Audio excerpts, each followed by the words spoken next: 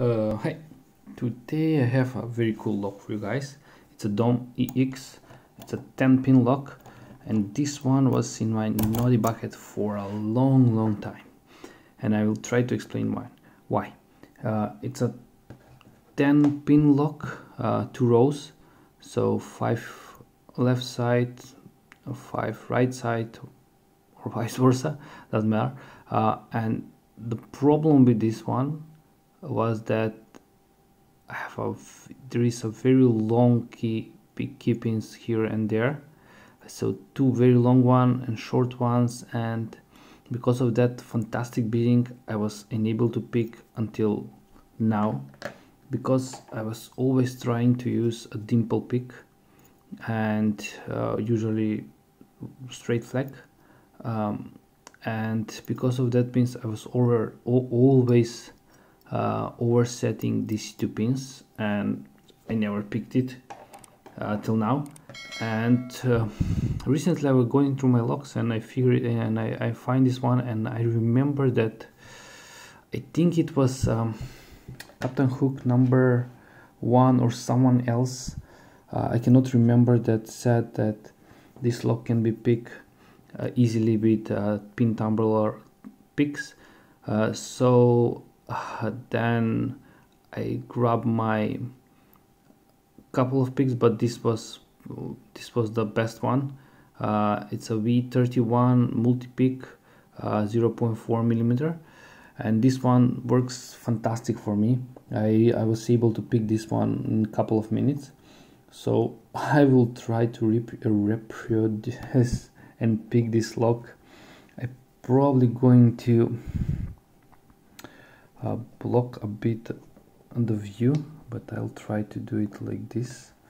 Uh, and yeah because I'm doing counterclockwise um, so because of that first uh, pins from the right side are, are binding first.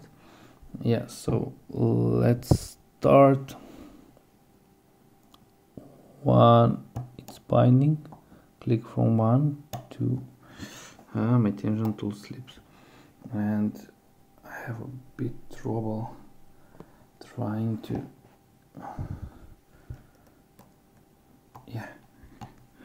Come on. It's a bit tricky to do it like this but yeah. Let's start. One click two nothing three nothing four nothing five nothing. Let's go again. One click small click. Two nothing three nothing four nothing five nothing. So let's go back. Again one two three nothing four nothing five. Hmm, five nothing. Again one nothing. Two nothing. Three nothing. Four nothing. Five. Did I overset pin number two? Let's do it again my tension tools tension tool want to slip but that's so one click two nothing. Three click four nothing five nothing. Again one click again. Two nothing three nothing four nothing. Five it's binding come on pin number five. Click from five. So let's start again. One nothing two nothing three nothing. Now four is binding. Yeah click from four and small turn on the core. That means that uh, I picked probably all or at least three or four pins from the right side so let's go from the left side now. One it's binding. Click from one two nothing. Three small click. Four nothing. Five it's I think it's binding. Click from five and small turn on the core. So let's go the right side. And did I lose? No it's open. Yes. Finally. It's open. Awesome. After a long long time finally DOM picked. So let's let's disassemble it now. Fantastic it's a very great feeling when you pick a log that is in your naughty bucket for a long time. And yeah. Key here's the key. What do we have here it's a c-clip okay. I don't know because we have a key I will lock it. I don't know who who triggered me to or who first um, did picking um, who, who picked this log with a with a pin tumbler pick not with a dimple uh, it's it's a really really good idea and I think I can disassemble it like this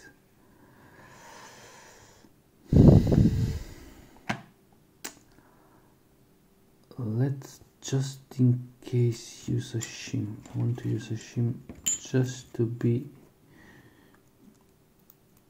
I think it's not needed but yes. Pins are going to be on top side. And the ball bearing yes. Awesome and the ball bearing I think it's going to be on the on the bottom side. Yes. Or it's a pin. Yeah it it was a pin. So let me my tweezers. Let me put this here and this plastic cover I will grab it and put it here and now I can remove the key. And before I disassemble it completely I want to show you why I was unable to pick with a dimple pick. So dimple pick let's move a bit. So let's zoom it. Come on. So when I was trying to go doesn't matter from which side. Always just to try to move the pick this this pin is automatically overset. And from the another for, for the other side that that pin.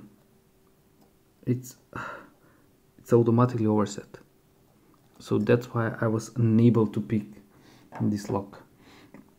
And the bitting is so so good that yeah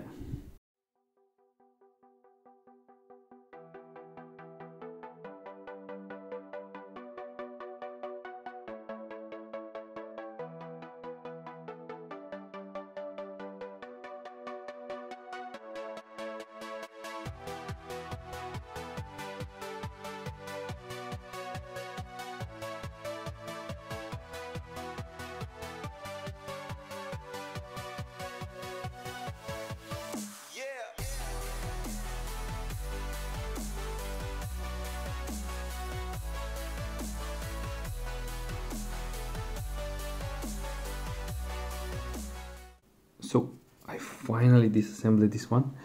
Um, and um, let me show you first the core. Here's how it's look like. So it's um, the pins are so I need to show you one of the pins. So the pins are a bit so I pick it like this. No it was like this? No. Yeah doesn't matter. Like here's how the pins look like and that's how they are going in and I pick it like no. Wait wait wait not like that. No this is a pin from this side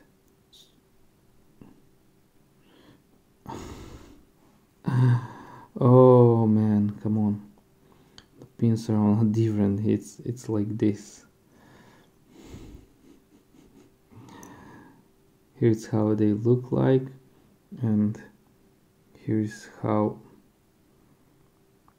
they are inside. So it's it's I'm picking it like this. So like this. From this side come on focus.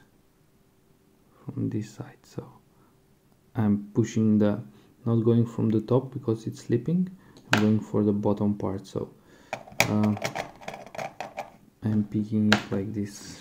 Come on. Uh, I'm picking it from here like this pushing down. Uh, so yeah. And the body is a standard one but with 10 two rows 10 pins it's a fantastic design to be honest and the pins are completely different than any other pins. So as you can see here key pins are standard and here one of the key pin uh, two of the key pins are with um, like torpedo like so for overset trap yeah. And the key pin from the top is with a drill protection and plus as a T-pin. So I think I touched that one the last second one and or this one doesn't matter. I, I cannot remember left or right, right side so this is a T-pin. And the last one I think it's a no? No it's not a T-pin it's a standard one. So uh, yeah. Uh, 10 10 pin lock awesome DOM iX um, picked and got it after a long time. Long time in naughty bucket. So guys really thanks for watching. Have a nice day. Have a nice picking and bye bye